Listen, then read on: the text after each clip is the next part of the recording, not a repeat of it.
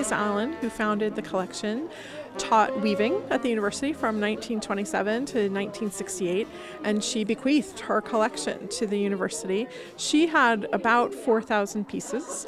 The collection's continued to grow over the past 50 years. It now has almost 14,000 pieces. She was a weaver herself, and she taught a lot of different types of textiles, and so she really liked the techniques involved in all sorts of textile production, and she really looked for things that she felt were the best examples of whatever the type was. So the best embroidery, the best weaving, um, the best dyeing or printing or whatever you know whatever was being done. She wanted it to be a great example of that, so she could show it to her students and say, "This is what I want you to emulate."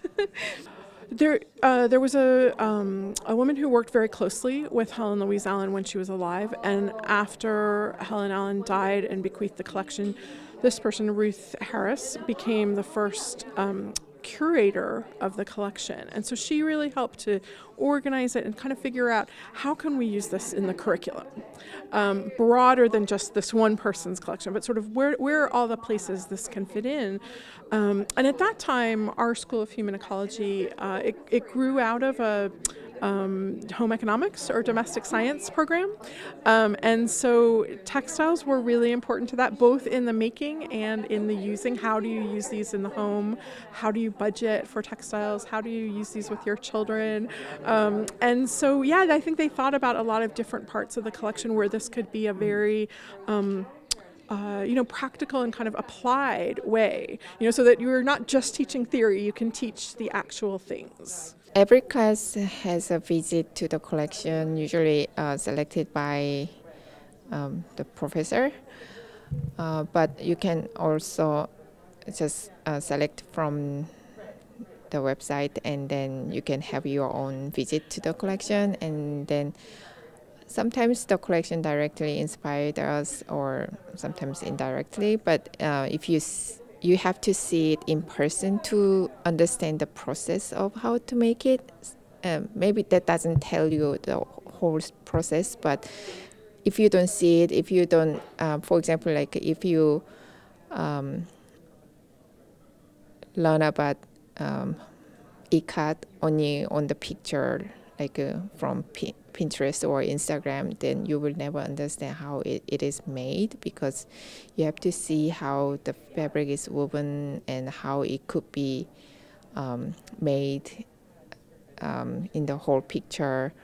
So we visit to the collections and then um, they later because it's a teaching collection they let us to touch it and and maybe smell it So we just flip the backside and we just examine it very closely and we feel the weight and we see the sheen of the fabric because silk is different from cotton, it's different from uh, flax. So uh, we just um, understand the physical difference in person from um, with our senses.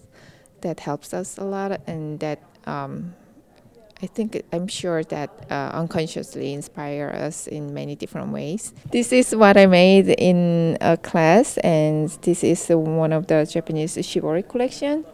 And we made a visit to the collection, and also um, the professor uh, brought some of her uh, personal collection of shibori fabric, and then we just touched it and we just played uh, with many different patterns, and then we experimented with different techniques, and so yeah, so we learn a lot about different um, techniques, and we also learn from each other. I do think there's a. Um, trajectory.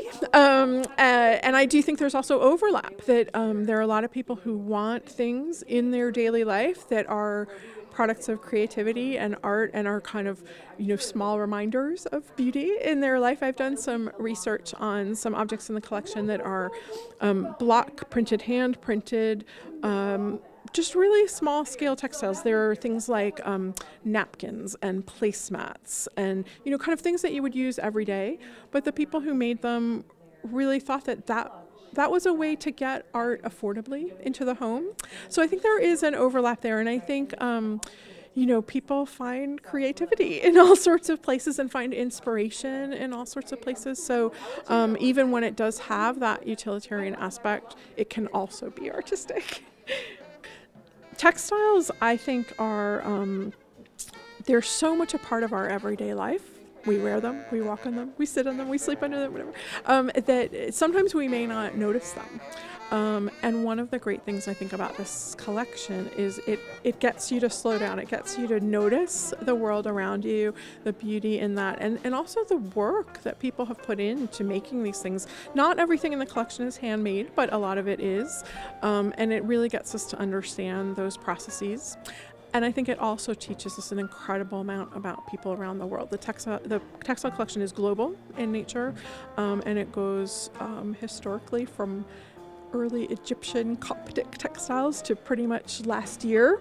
Um, so there are points in, you know, that we can just learn so much about not just the objects themselves, but the cultures that produce them.